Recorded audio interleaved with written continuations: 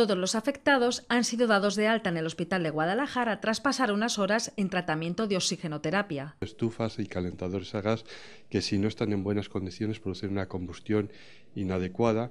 En esa combustión inadecuada se produce un gas, que es el monóxido de carbono, que es tremendamente venenoso para la sangre.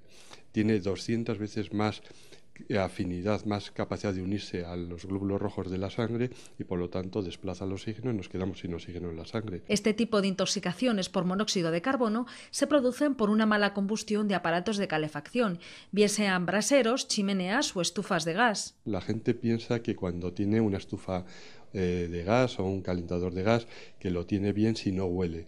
No, lo que huele es el gas, el butano, otro tipo de gas, pero la combustión que se nota por el tipo de llama produce el monóxido de carbono. Ese es el realmente peligroso, no cuando huele a gas que puede haber un riesgo de explosión. Gente que se va a los pueblos, fin de semana, enciende la chimenea o tiene pocos recursos para calentarse y utiliza medios no convencionales como braseros o estufas de gas.